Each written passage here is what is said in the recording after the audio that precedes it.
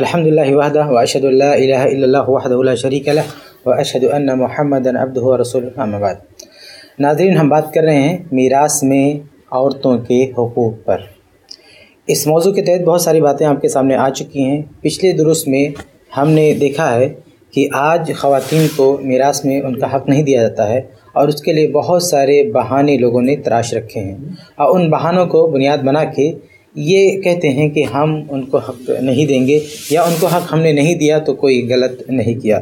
ان ساری باتوں پہ تفصیلات آپ کے سامنے آ چکی ہیں۔ آج کے درس میں ہم دیکھیں گے کہ اس ظلم کی اور اس بدعملی کی وجہ کیا ہے اور اس کا علاج کیا ہے۔ یعنی آج جو خواتین کو ان کے حقوق نہیں دیے جا رہے ہیں، میراث میں ان کا حق نہیں مل رہا ہے، تو اس کے اسباب اور اسباب کیا ہو سکتے ہیں اور ان کا علاج کیا ہے؟ تو یہی آج کے درس میں ہم انشاءاللہ آپ کے سامنے رکھیں گے۔ تو آئیے شروع کرتے ہیں۔ سب سے بڑا سبب اور سب سے پہلا سبب جو اس معاملے میں ہے، وہ ہے علم کا۔ یعنی اس معاملے میں لوگوں کی معلومات کا۔ افسوس کے ساتھ کہنا پڑتا ہے کہ میراث کے بارے میں لوگوں کی معلومات بہت ناقص ہے۔ چاہے علماء ہوں، چاہے عوام ہوں، جو لوگ بھی ہوں، اس علم کے بارے میں، اس مسئلے کے بارے میں بہت کم لوگ معلومات رکھتے ہیں۔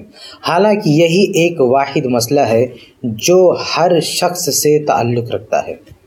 میراث کے علاوہ شاید کوئی مسئلہ ایسا نہیں ہے، اور ہم یہ کہیں تو شاید اس میں کوئی مبالغہ نہیں ہوگا کہ میراث کے علاوہ کوئی مسئلہ ایسا نہیں ہے جو ہر فرد سے گہرا تعلق رکھتا ہوں کیونکہ چاہے کوئی مرد ہو، چاہے کوئی عورت ہو، بوڑھا ہو، جوان ہو، بچہ ہو، حتیٰ کہ کوئی شخص ماں کے پیٹ میں وجود پاتی ہی اس مسئلے سے جڑ جاتا ہے۔ اگر باپ مر گیا اور اس کی کوئی اولاد ماں کی پیٹ میں ہے اور ابھی وہ باہر بھی نہیں آیا اور باپ کے مرنے کے بعد اس کی جائیداد بٹ رہی تو اس کا بھی حصہ لگتا ہے۔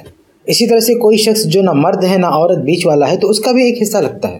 یعنی کوئی شخص ایسا نہیں ہے جو اس مسئلے سے نہ جڑا ہو اس کے باوجود بھی حال یہ ہے کہ اس بارے میں جاننے کا شوق کوئی نہیں رکھتا ہے۔ حالانکہ جو دوسرے مسائل ہیں، آپ دیکھیں کہ ان کے بارے میں لوگوں کے پاس معلومات نہ صرف ہے، بلکہ وہ ان معلومات کے بلبوتے دوسروں کو چیلنج بھی کرتے ہیں، مناظرے کی بات کرتے ہیں۔ لیکن یہ مسئلہ جو متفق علیہ ہے، جس پر پوری امت کا اتفاق ہے، اب اس پر عمل کرنے کی ضرورت ہے، لیکن اس پر عمل کی دعوت نہیں دی جا رہی۔ ذرا سوچیں کہ جو مسئلہ اختلافی ہے جو مسئلہ اختلافی ہے، اس اختلاف کو مٹانے کے لیے، اس اختلاف کو ختم کرنے کے لیے اور مد مقابل کو قائل کرنے کے لیے ہمارے یہاں مناظرے ہو رہے ہیں، ہمارے یہاں بحثیں ہو رہی ہیں، سب کچھ ہو رہا ہے۔ لیکن جو مسئلہ پہلے سے ہی متفق لے ہے، جس کے بارے میں کسی کا کوئی اختلاف نہیں ہے، اس کو جاننے کے لیے کوئی تیاری نہیں ہے۔ اس پر عمل کرنے کے لیے کوئی آمادہ ہی نہیں۔ تو سب سے پہلی وجہ جو سمجھ میں آتی ہے اس ظلم کے پیچھے وہ یہ کہ ہم میراث کے بارے میں نہیں جانتے ہیں، بہت کم جانتے ہیں۔ تو ضرورت اس بات کی ہے کہ اس علم کو زیادہ سے زیادہ عام کیا جائے، ورنہ آج ہمارے اور زمانے جہریت کے لوگوں میں کوئی فرق نہیں رہے گا۔ اور حقیقت یہ ہے کہ اس علم کے بارے میں نہ جاننے کی وجہ سے آج نہ صرف ہم عملی شکل میں زمانے جاہلیت کی کاپی کر رہے ہیں، بلکہ ہم کبھی کبھی وہی ڈائلاگ بھی بولتے ہیں جو زمانے جاہلیت والے بولتے تھے۔ زمانے جاہلیت والے عورتوں کو حصہ نہیں دیتے تھے، بہت سارے لوگوں کو محروم کرتے تھے، لیکن ان کا ڈائلاگ کیا تھا؟ ان کی سوچ کیا تھی؟ ان کی سوچ یہ تھی کہ ان کا مال یعنی ان میں مرے ہوئے شخص کا مال اس کو ملنا چاہیے جس نے میت کو فائدہ پہنچایا۔ یہ ان کے یہاں سوچ تھی۔ یہ ان کے ہاں قانون تھا کہ جو میت کو فائدہ پہنچانے والا ہے یا اس کی مدد کرنے والا ہے، جنگ میں اس کا ساتھ دینے والا ہے، اس کا حلیف ہے، اس کا معاون ہے، وہ حق رکھتا ہے کہ اس کے مال پہ قبضہ کرے اس کے مرنے کے بعد۔ آج صورت حال یہ ہے کہ چونکہ ہم اپنا نظام نہیں جانتے ہیں، اسلامی تعلیمات سے ناواقف ہیں، تو آج یہ حال ہے کہ آج بھی بہت سارے گھروں میں اس طرح کی بات بولی جاتی ہے کہ چونکہ ہم نے ابا کا بہت ساتھ دیا ہے، ابا کو بہت فائدہ پہنچایا ہے، اس لیے ابا کے مال پہ ہمارا حق زیادہ ہونا چاہیے۔ اسی جاہلی سوچ کی تردید کے لیے اللہ تعالیٰ نے سوری نسا میں کہا ہے کہ آبا حکم و ابنا حکم لا تدرون ایہم اقرب الکم نفعا۔ کہ مرنے والے کے باپ ہوں یا دادا ہوں، کون ہوں، کون زیادہ تمہارے لیے قریبی ہے، یہ تم کو نہیں پتہ۔ کون زیادہ تمہارے لیے فائدہ مند ہے، یہ تم کو نہیں پتہ۔ یعنی تمہارے باپ ہوں یا تمہارے بیٹے ہوں، کون تمہارے لیے زیادہ نفع بخش ہیں یہ تم نہیں جانتے، یا اللہ جانتا ہے۔ اس لیے اللہ رب العالمین نے جو قانون اتارا ہے، اس کے مطابق فیصلے کرو۔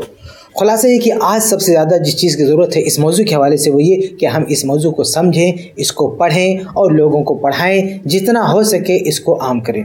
کیونکہ میرے بھائیوں بہت ساری جگہوں پر خواتین کو جو ان کے حقوق نہیں مل رہے ہیں، جہاں پر یہ وجوہات ہیں کہ لوگ زبردستی ان کا حق چھین رہے ہیں، ان پر قبضہ کر رہے ہیں۔ وہیں ایک وجہ یہ بھی ہے کہ بہت سارے لوگوں کو معلومات ملی ہے۔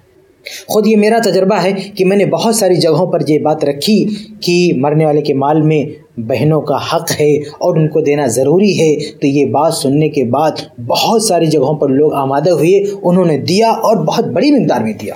یہ صورتحال دیکھنے کے بعد اندازہ ہی ہوا کہ اگر ان لوگوں کو بتایا نہ جاتا تو یہ لوگ نہیں دیتے۔ تو بہت سارے لوگ سماج میں ایسے ہیں جنہوں نے اس مسئلے کو معمولی سمجھ کے رکھا ہے یا استحبابی درجے میں سمجھ کے رکھا ہے۔ وہ یہ سمجھتے ہیں کہ باپ کے مال میں ہمارا ہی حق ہے۔ اگر ہم نے بہنوں کو دے دیا تو یہ ہمارا احسان ہوگا۔ اور نہیں دیا تو بھی کوئی مسئلہ نہیں ہوگا۔ ان کو یہ بتانے کی ضرورت ہے کہ تمہارا احسان نہیں ہوگا۔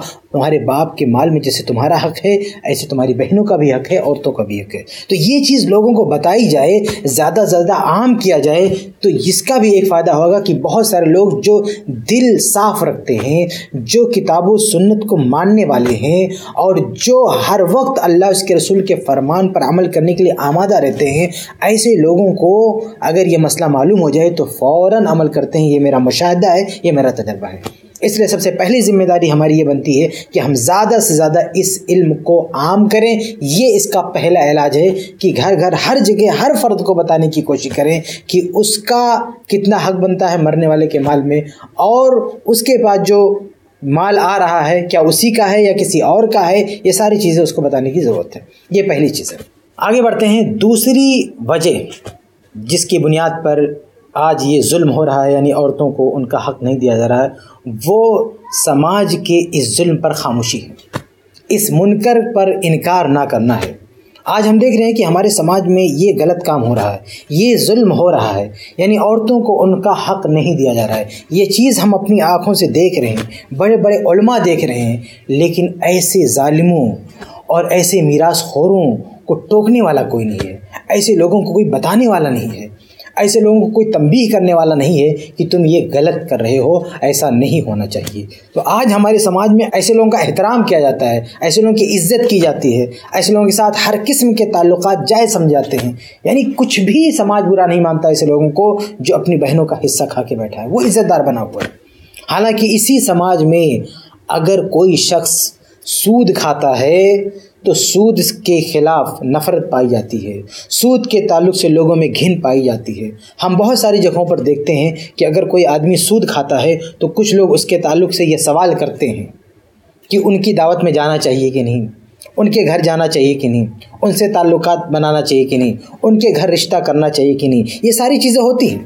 یعنی سود کھانے والا کوئی شخص سود کھاتا ہے تو اس کے حوالے سے بہت سارے سوالات کھڑے ہو جاتے ہیں۔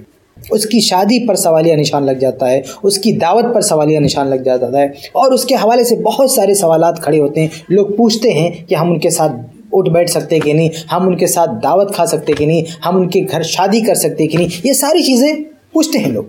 کیوں؟ کیونکہ سود کے تعلق سے گھن محسوس کرتے ہیں، سود کو اچھا نہیں سمجھتے۔ ہیں لیکن افسوس کے ساتھ کرنا پڑتا ہے کہ اسی سماج میں جو لوگ میراث کھا رہے ہیں، یہ بھی حرام کھانا ہے، یہ بھی ناجائز کھانا ہے۔ ایسے لوگوں کے تعلق سے کوئی سوال نہیں کرتا کیا ان لوگوں کی دعوت میں جا سکتے ہیں کہ نہیں۔ کیا ایسے گھرانے میں شادی کر سکتے ہیں یا نہیں؟ کیا ایسے لوگوں کے ساتھ اٹھ بیٹھ سکتے ہیں کہ نہیں؟ دیکھیے، ذرا غور کیجیے فرق دیکھیے، سماج کا یہ فرق دیکھیے، سماج کی یہ ناانصافی دیکھیے، کہ سود کھانے والا ذلیل ہو رہا ہے، سود کھانے والے کے خلاف نفرت پالی جا رہی ہے، یہ سب ہو رہا ہے، اچھی بات ہے، سود کھانے والے کے خلاف نفرت ہونی چاہیے، لیکن یہی ساری چیزیں میراث کھانے والے کے تعلق سے بھی ہونی چاہیے۔ جو سوالات سود خور کے تعلق سے اٹھتے ہیں، وہی سوالات میراث خور کے تعلق سے بھی اٹھنے چاہیے۔ لیکن یہ ہمارے سماج میں نہیں ہو رہا۔ بلکہ میں آپ کو اور آگے بڑھ کر بتاؤں کہ اسی سماج میں اگر کوئی چوری کرتا ہے، وہ بھی معمولی چوری۔ مثال کے طور پر کسی نے کسی کا موبائل چوری کر لیا۔ اب اگر اس کی تصویر سی سی ٹی وی کیمرے میں آ گئی، تو لوگ کیا کریں گے؟ اس چور کی تصویر کو اتنا حصہ کٹ کر کے فیس بک پر ڈال دیں گے، یوٹیوب پہ ڈال دیں گے۔ اور اس کے بعد لوگ کمنٹ کریں گے، یہ چور ہے۔ یہ دیکھو کتنا ذلیل کام کر رہا ہے، یہ دیکھو کتنا گندا کام کر رہا ہے۔ عجیب و غریب کمنٹ کریں گے لوگ، اس پر لانت کریں گے، کہیں گے پولیس کیس کرو، اس کو پولیس کے حوالے کرو، یہ کرو یہ کرو۔ دنیا بھر کی باتیں کریں گے۔ کس پر؟ ایک ایسے شخص پر جو صرف دس پندرہ ہزار کی کسی کی موبائل چرا لے۔ لیکن ہمارے اسی سماج میں ایک شخص اپنی بہن کا لاکھوں چوری کر لیتا ہے۔ میراث میں اپنی بہن کا لاکھوں کھا کے بیٹھتا ہے۔ اس کی کوئی تصویر نہیں بناتا۔ اس کی کوئی فوٹو نہیں لیتا۔ اس کو کوئی بے نقاب نہیں کرتا۔ اس کے بارے میں کوئی سوال نہیں اٹھاتا کہ یہ دیکھو، یہ شخص ہے، اس نے اپنی بہن کا لاکھوں چرایا ہے، اس کے بارے میں تمہاری کیا رائے ہے؟ کمنٹ کرو۔ ایسا کوئی نہیں پوچھتا۔ تو یہ ہمارا سماج ہے کہ ہمارے سماج میں اس منکر پر نکیر نہیں ہو رہی ہے، اس کا انکار نہیں ہو رہا ہے، اس کی مذمت نہیں ہو رہی ہے۔ ہم نے اپنے سماج میں ایسے لوگوں کو عزت دار سمجھ کے رکھا ہے۔ تو ضرورت اس بات کی ہے کہ ہم اپنے سماج میں ایسے لوگوں کے خلاف نفرت ظاہر کریں، ایسے لوگوں سے گھن محسوس کریں۔ ایسے لوگوں سے تعلقات محدود رکھیں۔ ایسے لوگوں سے تعلقات پر نظر ثانی کریں کہ ان کے ساتھ ہمارے تعلقات کتنے اور کیسے ہونے چاہیے۔ ان کو عام، نیک اور شریف لوگوں کے ساتھ برابر نہ کھڑا کریں۔ ان کے اس جرم کو محسوس کریں اور ان کو یہ احساس دلائیں کہ تم نے ایک پاپ کیا ہے اور تمہارے ساتھ شریفوں جیسا سلوک نہیں ہو سکتا ہے۔ اگر یہ سماج ان لوگوں کو برا سمجھنے لگے تو شاید یہ لوگ سدھریں اور اس ظلم سے باز آ جائیں۔ تو یہ دوسری وجہ ہے کہ سماج نے چونکہ ان لوگوں کو عزت دے کے رکھی ہے، ان کو برا نہیں سمجھتا ہے، اس لیے بھی ان کو بڑھاوا ملتا ہے۔ اور اس کا علاج یہ ہے کہ ایسے لوگوں کا پردہ فاش کیا جائے اور ایسے لوگوں کو احساس دلایا جائے کہ تم ایک جرم کر رہے ہو، تم ایک کرائم کر رہے ہو اور تمہیں عام لوگوں جیسی عزت نہیں دی جا سکتی۔ آگے بڑھتے ہیں، ایک اور وجہ جو اس ظلم کے پیچھے ہے، وہ ہے ہماری لالچ۔ آج انسان لالچی بن چکا ہے۔ بہت زیادہ مال کا حریث بن چکا ہے۔ بہت ساری آیات اور بہت ساری حدیث ہیں، وہ ہمارا موضوع نہیں ہے۔ بہت ساری آیات اور حدیث میں آپ دیکھیں گے کہ مال کو فتنہ قرار دیا گیا ہے اور دنیا کے پیچھے bھاگنے سے منع کیا گیا ہے اور مال کے چکر میں دنیا اور آخرت کو برباد کرنے سے روکا گیا ہے۔ لیکن آج چونکہ ہم لالچی بن چکے ہیں، بلکہ لالچی بننے کے ساتھ ساتھ ہمارا ایمان بھی بہت زیادہ کمزور ہو چکا ہے۔ گویا ہم یہ سوچتے ہیں کہ اگر ہم نے کسی کا چوری کر لیا، کسی اور کا مال کھا لیا، تو ہمارا مال بڑھ جائے گا۔ اور ہم نے کسی کا حق دے دیا، تو ہمارا مال گھٹ جائے گا۔ ایسی بات نہیں ہے۔ ہمارا ایمان ہونا چاہیے اللہ رب العالمین پر۔ اور برکت کے نظام پر۔ دیکھیے برکت کس کو کہتے ہیں؟ اگر آدمی نیک ہو، شریف ہو، تو اس تھوڑے مال میں اللہ رب العالمین برکت نازل کرتا ہے اور وہ بڑھ جاتا ہے۔ اس کے پاس زیادہ ہوتا ہے۔ لیکن آدمی کے پاس ایمان نہیں ہوتا، آدمی نیک نہیں ہوتا، تو وہ سمیٹ سمیٹ کے اکٹھا کرنا چاہتا ہے، لیکن حقیقت میں اس میں برکت نہیں ہوتی ہے۔ وہ کسی اور بہانے سے کہیں یہاں چلا گیا، کہیں وہاں چلا گیا، کہیں وہاں چلا گیا۔ تو آج ہم لالچی بن چکے ہیں، یہ بھی ایک وجہ ہے کہ ہم اپنی بہنوں کا حصہ کھا رہے ہیں۔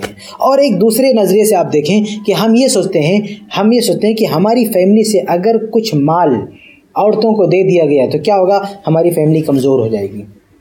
یہاں کا مال کم ہو جائے گا۔ اور کسی اور گھر ہمارا مال چلا جائے گا۔ ایسا کچھ لوگ بولتے بھی ہیں۔ ایسا لوگ کچھ لوگ کہتے بھی ہیں۔ بہت سارے بزرگ یہ بات بولتے ہوئے بھی نظر آتے ہیں کہ وہ تو دوسرے کا گھر ہے۔ اگر یہ مال ہم نے ادھر بھیج دیا تو ہمارا کم ہو جائے گا۔ حالانکہ سوچیں کہ اگر میراث کا نظام لاگو ہو گیا اور ہر کوئی کسی کو حصہ دینے لگا تو ذرا غور کریں کہ ایک گھرانے میں اگر لڑکیاں کچھ مال لے کر کسی دوسرے گھر جائیں گی، تو آپ یہ بھی تو غور کریں کہ اسی گھرانے میں باہر کی لڑکیاں بھی تو آئیں گی۔ اگر ایک آدمی کی لڑکی ہے، اس کی شادی ہوتی ہے وہ کسی اور گھر جاتی ہے، تو ایک آدمی کا لڑکا بھی تو ہوتا ہے۔ اس کی شادی ہوتی ہے تو کہیں اور کی لڑکی اس کے گھر آتی بھی ہے۔ تو اگر کسی کی بیٹی وراثت کا کچھ مال لے کر کسی اور کے گھر جائے گی، تو اس کی بہو وراثت کا مال لے کر اس کے گھر آئے گی بھی۔ اگر سب اس پر عمل کریں تو کوئی مسئلہ ہی نہیں ہے۔ تو یہ جو سوچ ہے نا، لالچی سوچ کہ ہم نے دے دیا تو ہمارا کم ہو جائے گا۔ ایسا نہیں ہے کم ہو جائے گا، بلکہ کبھی کبھی تو ایسا بھی ہو سکتا ہے کہ بڑھ جائے۔ ایک آدمی غریب ہے، اس کا مال کم ہے، وہ مر گیا، اس کی لڑکیوں کی شادی ہوئی اور کچھ مال لے کر وہ گئے اپنے گھر پہ۔ لیکن اس کے لڑکوں کی شادی ہوئی تو ان کے لڑکوں کے پاس زیادہ مال آیا کیونکہ ان کی بیویاں مالدار تھیں۔ یہ بھی ہو سکتا ہے۔ تو یہ جو لالچی سوچ ہے نا کہ حصہ دے دینے سے ہمارا مال کم ہو جائے گا، یہ بالکل غلط سوچ ہے۔ یہ اللہ کے ہاتھ میں ہے، مال کم ہوگا یا زیادہ ہوگا۔ بلکہ میراث دینے سے بھی مال کم نہیں ہوگا۔ میراث آپ دیں گے تو کچھ لوگ آپ کے پاس میراث لائیں گے بھی۔ اگر ایک شخص اپنی بہن کو حصہ دے گا تو اس کی بیوی خود پیسہ لے کر آئے گی۔ تو ایک فیملی میں آپ غور کریں تو ایک بڑی فیملی میں جہاں ایک شخص ہو، اس کے بال بچے ہوں، تو اس فیملی سے اگر کچھ حصہ کہیں جا رہا ہے تو اس کے پاس کہیں سے آئے گا بھی۔ اس لیے ہمیں اپنی سوچ صحیح کرنے کی ضرورت ہے۔ ہمیں اچھا گمان نہیں ہونا چاہیے، اللہ پر بھروسہ رکھنا چاہیے، ہمارا ایمان سے ہونا چاہیے، تقدیر پر ہمارا ایمان ہونا چاہیے۔ تو یہ بھی ایک وجہ ہے کہ ہم لالچی بن چکے ہیں اور اسی نظریے سے سوچتے ہیں، اس لیے ہم دوسروں کو حق نہیں دیتے۔ اگر ہم بے فکر ہو جائیں، اللہ پہ بھروسہ رکھیں کہ کسی کا حق دینے سے بھی ہمارا مال کم ہونے والا نہیں ہے، اللہ رب العالمین ہم کو عطا کرے گا۔ بلکہ حلال کھائیں گے تو اللہ اور برکت نازل کرے گا۔ اگر یہ ایمان ہمارا مضبوط ہو جائے تو شاید ہم کسی کے یہاں چوری نہ کریں، کسی دوسرے کا مال نہ کھائیں۔ آگے بڑھتے ہیں، ایک اور چیز جو اس ظلم کے پیچھے وجہ بنی ہوئی ہے، وہ جہیز ہے۔ اس سے پہلے میں آپ کے سامنے واضح کر چکا ہوں کہ جہیز جو عورتوں کو دیا جاتا ہے، لڑکیوں کو دیا جاتا ہے، اس کا بہانہ کر کے کوئی شخص یہ نہیں کہہ سکتا کہ ہم اب ان کو میراث میں حصہ نہیں دیں گے، اس کی میں وضاحت کر چکا ہوں۔ لیکن بہرحال لوگ اس کا بہانہ بناتے ہیں۔ تو اس طرح سے یہ بھی ایک وجہ ہے کہ لڑکیوں کو میراث نہیں دی جاتی ہے، اسے بہانہ بنایا جاتا ہے۔ اب اس کا حل کیا ہے؟ اس کا علاج کیا ہے؟ اس کا علاج یہ ہے کہ ہمیں یہ جہیز کا سسٹم ختم کرنا چاہیے۔ اگر کوئی شخص یہ سمجھتا ہے کہ ہم نے جہیز دے دیا تو میراث کا بدل ہو گیا، تو بہت بڑا ظالم ہے۔ ظالم ہونے کے ساتھ ساتھ وہ اللہ کے قانون میں تبدیلی کرنے کی سوچ رہا ہے۔ اللہ کا قانون تو یہ ہے کہ مرنے کے بعد میراث اس کو ملے گا اور اور یہ شخص قانون یہ بنا رہا ہے کہ جہیز کے نام پہ اس کو دے دیں۔ تو یہ بہت ہی غلط سوچ ہے۔ اللہ کے قانون کے ساتھ بغاوت ہے۔ اللہ کے حدود سے تجاوز ہے۔ اس لیے اس کو بھی ختم کرنا چاہیے۔ تو ایک بہت بڑی وجہ جو اس ظلم کے پیچھے ہے، وہ جہیز بھی ہے۔ اس لیے ہمیں جہیز کا خاتمہ کرنا چاہیے اور جہیز کی جگہ اس چیز کو رواج ڈالنا چاہیے کہ میراث میں لڑکیوں کو حصہ دیا جائے، جہیز کا مطالبہ نہ کیا جائے۔ اور اس میں ایک بہت بڑی راحت ہوگی، بہت بڑا آرام کا مسئلہ ہوگا۔ جہیز میں کیا ہوتا ہے کہ ایک آدمی کو اتنا دینا رہتا ہے جتنا اس کی مانگ ہوتی ہے، چاہے اس کے پاس ہو یا نہ ہو، بیچارہ پریشان ہوتا ہے۔ اگر یہ سسٹم ہم ختم کر دیں اور اس کی جگہ پہ میراث دینا شروع کر دیں تو نتیجہ کیا ہوگا؟ نتیجہ ہوگا کہ آدمی پر کوئی بوجھ نہیں رہے گا۔ آدمی نے زندگی میں جو کچھ کمایا، بنایا، اسی کے مطابق مال اس کی بیٹیوں کو جائے گا۔ اسے کوئی ٹینشن کی، کسی فکر کی ضرورت نہیں ہے۔ اور یہ بات سمجھ لینا چاہیے کہ واقعتاً اگر میراث دینا شروع کر دیں تو اس کا جہیز پر اثر پڑے گا، جہیز ختم ہوگا۔ میں آپ کو بتاؤں، میں نے پچھلے بھی کسی درس میں ذکر کیا ہے کہ گاؤں وغیرہ میں اگر کوئی ایسا شخص مرتا ہے جس کی صرف بیٹیاں ہوں، بیٹے نہ ہوں، تو ایسی بیٹیوں کو چونکہ میراث میں بہت بڑا اماؤنٹ مل جاتا ہے، بہت بڑا مال مل جاتا ہے، اس لیے ان بیٹیوں کی شادی بغیر جہیز کی ہو جاتی ہے۔ ایسی بہت سارے گھرانے ہیں۔ کہ ان بیٹیوں کو جو مال ملتا ہے وراثت میں، بہت زیادہ بیٹے نہیں ہوتے، سارا بیٹیاں لے لیتی ہیں۔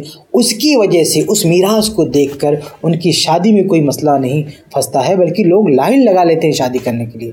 ایسی لڑکیوں کو چننا پڑتا ہے کہ ہم کس سے شادی کریں۔ تو ایسے ہر شخص اگر میراث دینا شروع کر دے تو یہ جہیز کا سسٹم ختم ہو جائے گا، جہیز آدمی نہیں دیکھے گا، جہیز کے لیے زبان نہیں کھولے گا۔ تو یہ بہترین طریقہ ہوگا کہ جہیز کو ختم کیا جائے اور اس کی جگہ پہ میراث کو عام کیا جائے۔ اگر جہیز کو ختم کیا گیا تو انشاءاللہ میراث بھی عام ہو جائے گا اور میراث عام ہوگا تو ساتھ میں جہیز کے ختم کرنے کی رائے بھی ہموار ہوگی۔ آگے بڑھتے ہیں۔ ایک اور وجہ جو اس ظلم کے پیچھے ہے، وہ ہم سمجھتے ہیں کہ عورتوں کی ناشکری بھی ہے۔ ابھی تک جو وجوہات ہم دیکھ رہے تھے وہ کہیں نہ کہیں عورتوں سے الگ تھیں، لیکن ایک وجہ ہم سمجھ سکتے ہیں کہ شاید خود عورتوں کی بے راہ روی بھی ہے۔ یعنی عورتوں کی بد عملی بھی ہے۔ دیکھیے، یہ وہی عورتیں ہیں، یہ وہی خواتین ہیں کہ زمانے جاہلیت میں بہت ذلیل تھیں، بہت کمتر تھیں۔ ان سے سارے حقوق چھین لیے گئے تھے۔ اور تو اور ہے، انہیں جینے کا بھی حق نہیں تھا۔ انہیں مال دینا تو بہت دور کی بات ہے۔ ان کو زندگی کوئی دے دے، اس کی بھی کوئی گارنٹی نہیں تھی۔ مال دینا تو بہت بڑی بات ہے۔ زمانے جاہلیت والے انہیں زندگی دینے کے لیے تیار نہیں تھے۔ ان کی سانسیں برداشت نہیں کرتے تھے۔ ان کا زندہ رہنا انہیں گوارا نہیں تھا۔ لیکن اسلام آیا۔ اور اسلام نے ان عورتوں کو اتنی بڑی عزت دی، اتنے حقوق دیے۔ اگر ایک عورت موازنہ کریں کہ اسلام سے پہلے اس کی کیا حالت تھی، اسلام کے بعد اس کی کیا حالت ہوئی، تو وہ چونک پڑے گی۔ کہ زمانے جہلیت میں کتنی مظلوم تھی اور اسلام نے اس پر کتنا بڑا احسان کیا، لیکن ان عورتوں نے اس احسان کا بدلہ کیا دیا؟ اللہ رب العالمین کی اس نعمت کے ساتھ کیا کیا؟ اللہ رب العالمین کا شکر ادا کرنے کے بجائے آج کی عورتیں اسلام ہی کے خلاف زبان درازی کرتی ہیں۔ اسلام ہی کے بارے میں الٹی سیدھی باتیں بولتی ہیں۔ اللہ اس کے رسول کی باتوں پر عجیب و غریب کمنٹ کرتی ہیں۔ تو ہو سکتا ہے کہ ان کی اس بدعملی کی سزا ان پر مسلط کر دی گئی ہو کہ انہیں جہاں بہت سارے حقوق سے محروم کیے گئے، ایسے ہی انہیں میراث سے بھی محروم کیا گیا۔ دیکھیے زمانے جہلیت میں عورتوں کو زندہ نہیں رہنے دیا جاتا تھا۔ آج بھی عورتوں کا حال یہ ہے کہ ایک نئے طریقے سے ان کی موت ہو رہی ہے۔ بہت ساری جگہوں پر آپ دیکھیں گے کہ آدمی کو پتہ چلتا ہے کہ اس کے یہاں لڑکی پیدا ہونے والی ہے، پیدا ہونے سے پہلے ہی مروا دیتا ہے۔ وہی زمانے جہریت کی بات لوٹ آئی ہے۔ تو جیسے ان کی جان کی بھی آج گارنٹی نہیں ہے، ایسے آج ان کے مال کی بھی کوئی گارنٹی نہیں ہے، ان کو مال دینے کے لیے بھی تیار نہیں ہے۔ اس کے پیچھے جہاں بہت ساری وجوہات ہیں، وہیں عورت کی بد عملی بھی ہو سکتی ہے۔ اللہ رب العالمین نے قرآن مجید میں کہا ہے، اللہ رب فرماتا ہے سورہ ابراہیم آیت نمبر سات میں لَإِن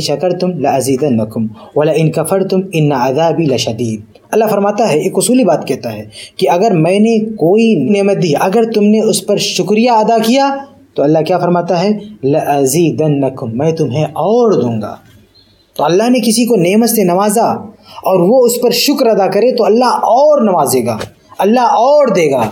اللہ نے کسی پریشانی سے نکال دیا، اس پریشانی سے نکلنے کے بعد اللہ کا شکر ادا کرنے کے بجائے، اللہ کا احسان ماننے کے بجائے، اللہ کی تعریف کرنے کے بجائے، اللہ کی عبادت کرنے کے بجائے الٹا ہم اللہ کے خلاف بولیں، دین اسلام کے خلاف بولیں تو اللہ فرماتا ہے والا ان کفر تم ان ادابی لشدید۔ اور اگر تم نے ناشکری کی تو میرا عذاب بہت بھیانک ہے۔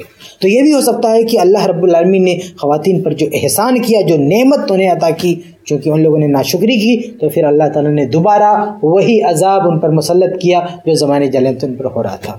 اس لیے اس ظلم کے پیچھے ایک وجہ یہ بھی ہو سکتی ہے، عورتوں کی بدعملی۔ اور اس کا علاج یہ ہے کہ وہ اپنی اس بدعملی سے باہر آئیں اور کتاب و سنت کی اتباع کریں۔ آگے بڑھتے ہیں، ایک اور وجہ جو ہمارے سمجھ میں آتی ہے وہ یہ ہے کہ گھر کا جو مالک ہوتا ہے، بڑا ہوتا ہے، بزرگ ہوتا ہے، وہ اس حوالے سے کوئی فکر نہیں رکھتا۔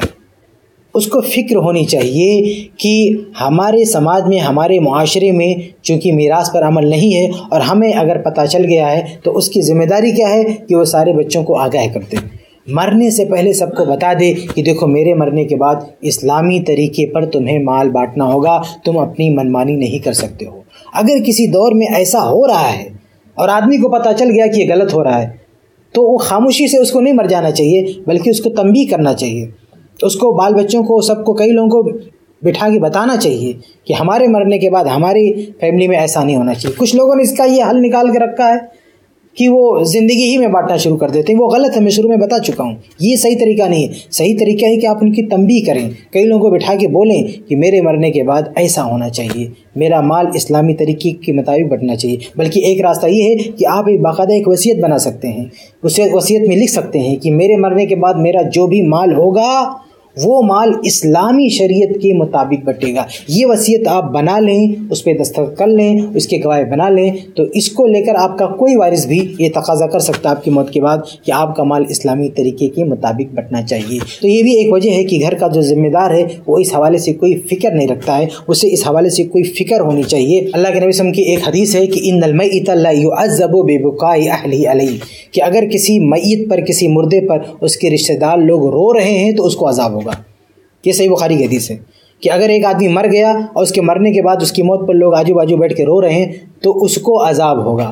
علماء نے اس حدیث کی تشریح میں یہ کہا ہے، یہ عذاب اس لیے ہوگا کیونکہ اس کے نظروں کے سامنے اس کے سماج میں یہ ماحول تھا کہ کوئی مرتا تھا، لوگ اس پر روتے تھے، لوگ نوحہ کرتے تھے، لوگ ماتم کرتے تھے اور اس نے منع نہیں کیا، اس لیے اس کو عذاب ہوگا۔ اور اگر کوئی منع کر دیا یعنی مرنے سے پہلے اپنی سماج میں دیکھا ایسا ہو رہا، منع کر دیا تو اس کو عذاب نہیں ہوگا۔ اس کے لیے استثنا مانتے ہیں۔ لیکن جس نے اپنی نگاہوں کے سامنے دیکھا یہ غلط ہو رہا، اس پر ٹوکا نہیں، اس کو منع نہیں کیا تو اس کو عذاب ہو سکتا ہے۔ یہی معاملہ میراث کے بھی ہو سکتا ہے کہ ایک آدمی دیکھ رہا اپنی نگاہوں کے سامنے کی غلط ہو رہا ہے، پھر بھی تنبیہ نہ کرے اور ایسے خاموشی کے ساتھ چلا جائے تو ہو سکتا ہے کہ اس بدملی کے پیچھے، اس ظلم کے پیچھے اس کا بھی کوئی حصہ ہو، اس کی بھی گرفت ہو، اس کی بھی پکڑ ہو کہ تم نے اپنے بچوں کو صحیح تعلیم کیوں نہیں دیا، اپنے بچوں کو آگاہ کیوں نہیں کیا۔ اگر وہ آگاہ کر کے چلا جائے، صحیح بات بتا کے چلا جائے، تب انشاءاللہ اس کی کوئی پکڑ نہیں ہوگی۔ تو یہ چند اسباب تھے، یہ چند وجوہات تھیں جن کی بنا پر آج یہ ظلم ہو رہا ہے۔ ان وجوہات اور ان اسباب کا حل کیا ہے، وہ بھی میں نے آپ کے سامنے بیان کیا۔ اللہ سے دعا ہے کہ اللہ تعالیٰ یہ ساری باتیں ختم کرے، یہ سارے اسباب ختم ہوں، اس کا صحیح حل ہمارے سامنے آئے اور اس اسلامی شریعت پر اور اسلام کے اس نظام پر ہم سب عمل کریں۔ اللہ ہم سب کو اس کی توفیق دے۔ آمین رب العالمین۔